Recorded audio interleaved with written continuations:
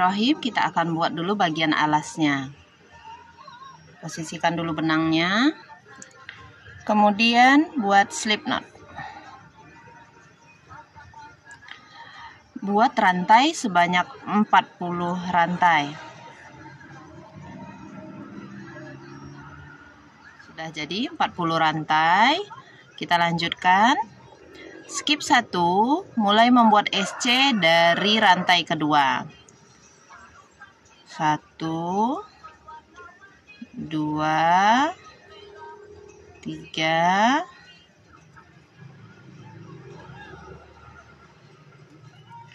38 39 Nah nanti akan jadi 39 SC seperti ini. Lanjutkan ke baris kedua chain satu dulu balik. Isi lagi setiap lubang stitch dengan satu SC teman-teman buat bagian alasnya ini sampai 10 baris. Baiklah teman-teman ini udah selesai ya sampai 10 baris. Jangan lupa tandai bagian sudut-sudutnya dengan peniti penanda, karena pada posisi peniti penanda ini nanti kita akan membuat V puff stitchnya. Baik, kita akan mulai lihat uh, bagian alasnya itu hadapkan ke bagian depan. Untuk tahu alasnya bagian depan, itu lihat potongan dari rantainya ini yang sudah diisi itu ada setengah rantainya terlihat di bagian depan. Nah, ini berarti bagian depan dari alas tasnya. Nanti posisi baris ke-10 ada di sebelah kanan kita. Dari sini kita buat puff stitchnya. Ini tadi kan di chain 1 ya.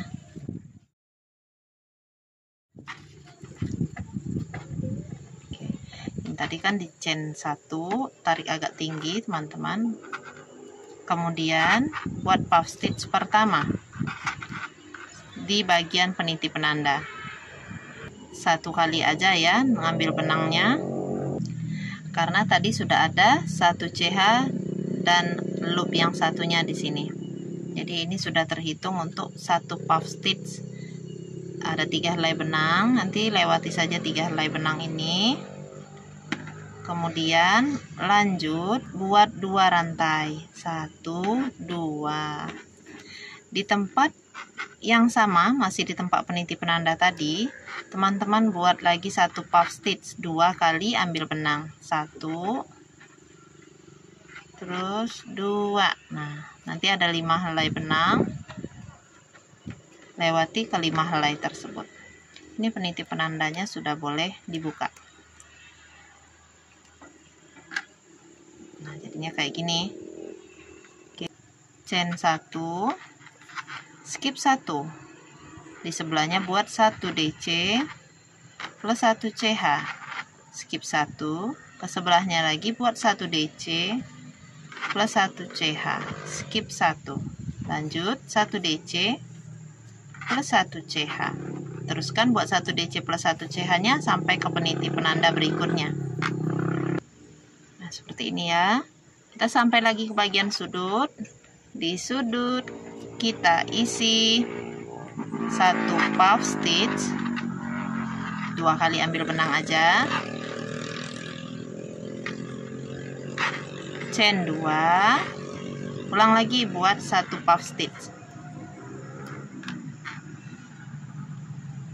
Sini. Satu dua. Chain 1 skip 1 di sini buat lagi 1 DC skip 1 di sebelahnya. Buat lagi 1 DC plus 1 CH skip 1 sampai ke bagian sudut berikutnya. Kita buat lagi V puff stitchnya. Di sini ya satu puff stitch dua rantai satu puff lagi.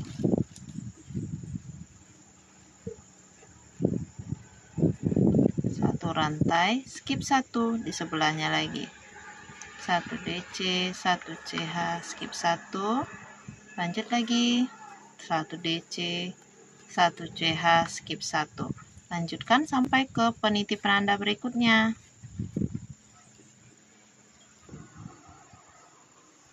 Kita buat lagi puff stitch. Dua rantai puff stitch. Teman-teman kalau bingung boleh lihat pola tulis di atas ya. Chain 1 hampir selesai teman-teman dikit lagi nih. Skip 1 1 DC 1 CH skip 1 1 DC CH skip 1 lanjut lagi. 1 DC 1 CH skip 1 1 DC 1 CH skip 1 nah di akhir roundnya kita slip stitch satu kali di atas puff stitchnya. Satu kali lagi di dalam lubang sudut chain 1 nah ini Untuk baris selanjutnya, cara pembuatannya masih sama seperti baris pertama tadi teman-teman. Panjang begini ya. Kemudian gulung benang, tarik, ambil sekali aja.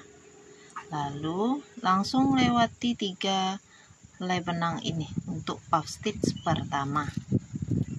Buat dua rantai, kemudian masih di lubang sudut, kita buat lagi puff stitch dengan dua kali mengambil benang ada lima. Helai benangnya tarik semua lewati. Satu CH kembali lagi. Skip satu. Di atas DC nya kita buat satu DC satu CH skip satu. Di atas DC tetap buat DC nah seperti itu.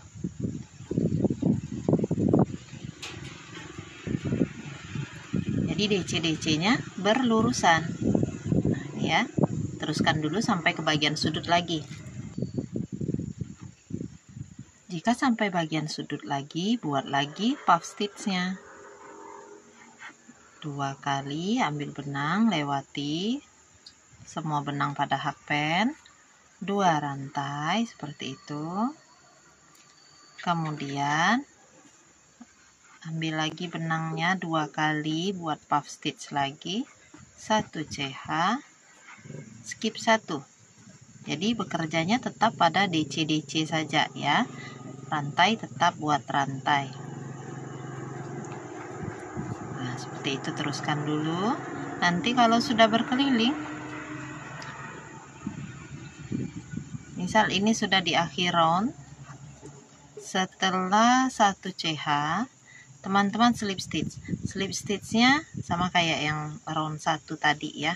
Dua kali dua kalinya itu satu kali pada puff stitchnya.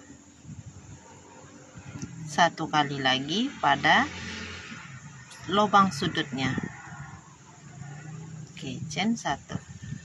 Ulangi cara pada R2 badan tasnya ini sampai nanti teman-teman mendapat tinggi tas yang diinginkan.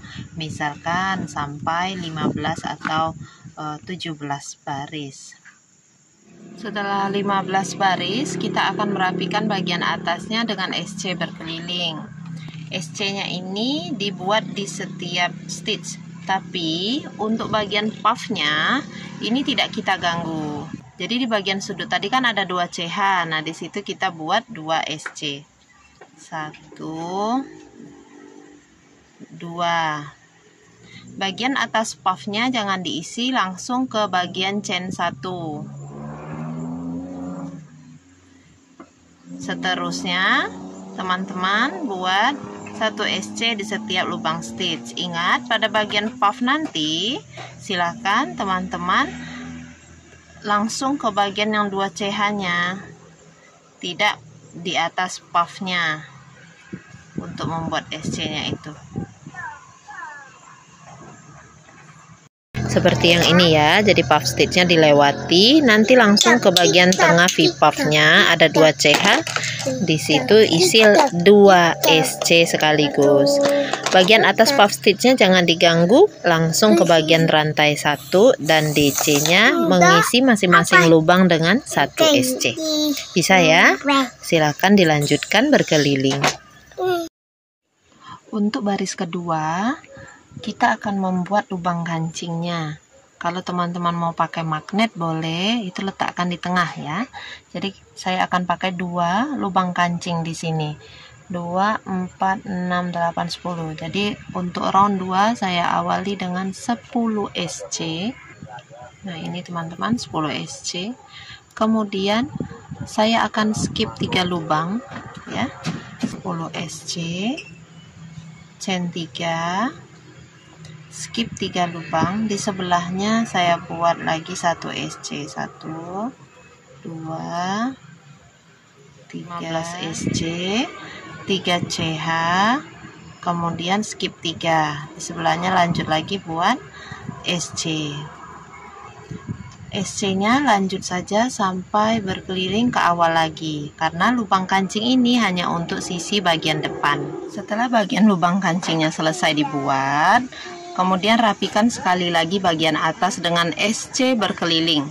Nah, ini hasilnya. Jadi, tinggal chain satu setelah slip stitch ya. Lalu rapikan semua sisa benang ke bagian yang padat stitch supaya nanti terlihat lebih rapi. Jika sudah selesai, nanti jahit kancingnya itu dari bagian dalam teman-teman ya, berlurusan dengan lubang kancingnya. Untuk tali tasnya saya memakai tipe Romanian cord slip knot. Kemudian chain 2. Pada chain pertama tusuk buat SC. Putar sedikit menyamping.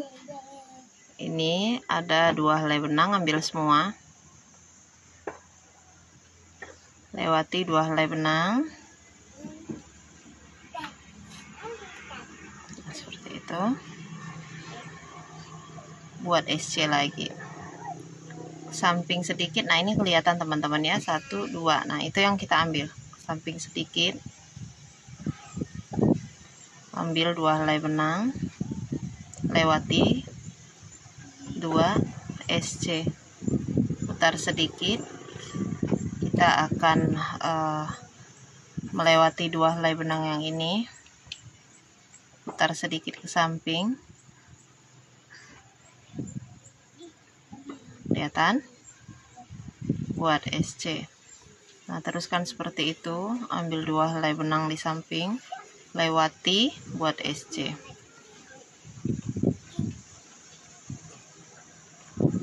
putar ke samping lewati dua helai benang SC seperti itu. Terus teman-teman silahkan buat.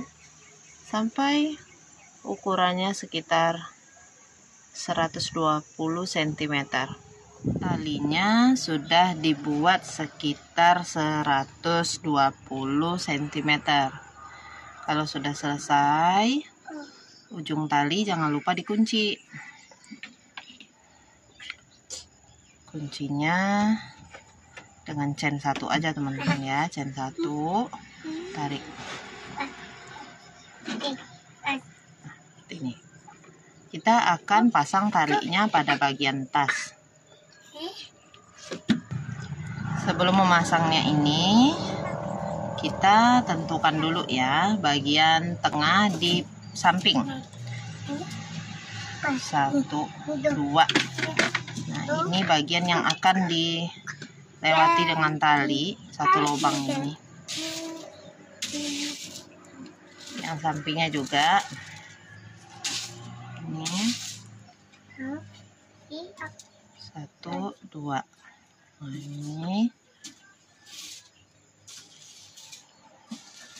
Jadi tali nanti nggak masuk di lubang yang diberi penitipan anda nggak masuk di sini tapi dilewati kita pasang dulu tali yang satu yang ini yang awal itu kita rapikan dulu ke bagian dalam. Ini talinya kalau udah selesai dirajut seperti ada ruang di bagian dalamnya untuk tempat menyelipkan sisa benang.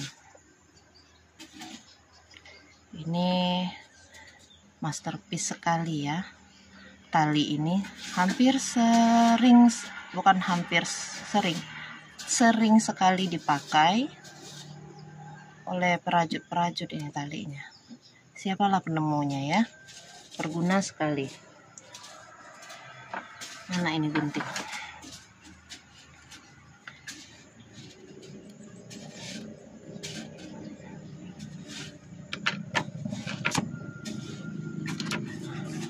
Ini kita akan masukkan mulai dari sini dari bagian dalam ke peniti penandanya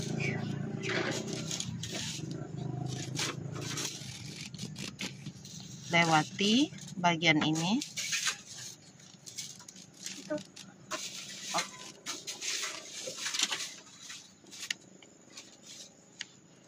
Mulai lepas. Tarik panjang ya. Sampai yang bagian pendek ke sini. Nah, kalau bentuknya sudah seperti ini ujungnya tadi masukkan ke bagian belakang puff stitchnya. Sini.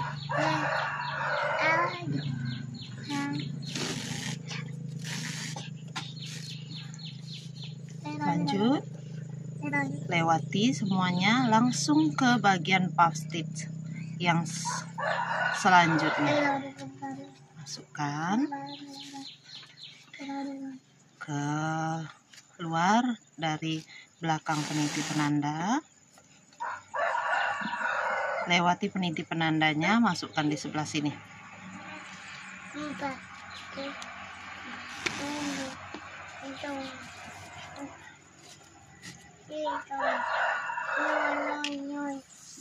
Lanjut lagi. Masukkan di belakang puff stitchnya. Tarik lalu kita ke sini. Lewati semuanya ke puff stitch yang pertama. Nah di dekat awal tadi.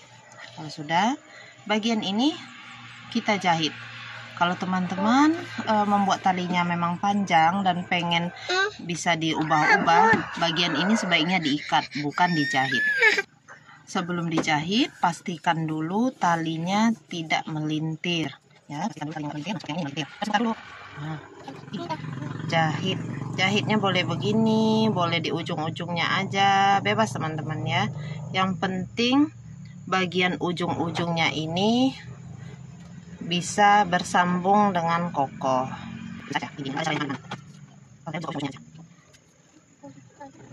Ulangi berapa kali?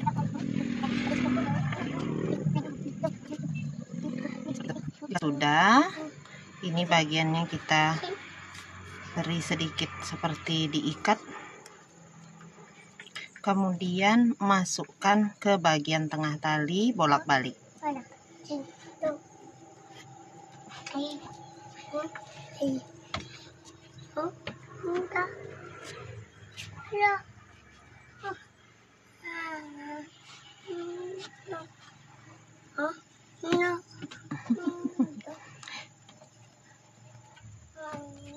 adik tuh suaranya parau tapi mau ngomong terus.